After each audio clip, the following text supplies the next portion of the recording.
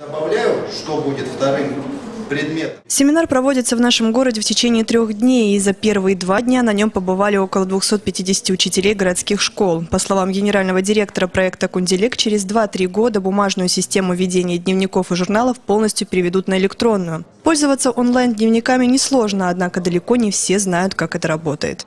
Электронные дневники удобны тем, что они решают вопрос мобильности и доступности всегда в онлайн-режиме. Более того, э, если электронные журналы заполняются на периодической основе, то масса вопросов, связанных с бумажной отчетностью, э, реализуется автоматически. В системе Кунделек есть инструмент BI-аналитики э, и компонент Big Data – который автоматически формирует все формы строгой отчетности, все те отчеты, которые нужны школе во время педсовета или для районных отделов образования, управления города, Аким, Акимата города. Эти отчеты формируются автоматически.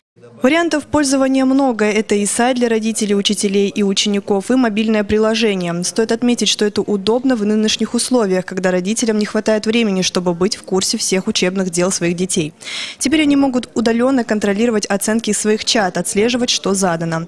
Родители могут общаться напрямую с учителями или администрацией школы. Онлайн-система удобна не только для родителей, но и для учителей.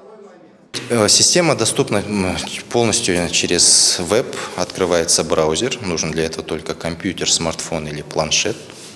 Э, пользователь заходит под своим логином и паролем и видит абсолютно весь функционал.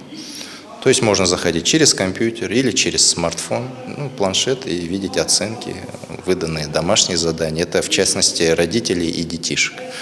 Учителя же делают свою педагогическую работу. Провели урок, выдали домашнее задание, оценили. Выездные семинары на этом не заканчиваются. Завтра планируется провести такой же семинар с учителями частных школ города. Ирина Ребекова, Жаслан Жубаев, программа «Факт».